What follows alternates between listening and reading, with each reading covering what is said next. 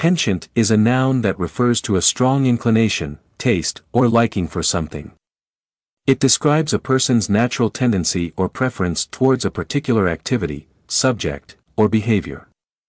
This word often implies a recurring or habitual fondness that is part of someone's character or personality.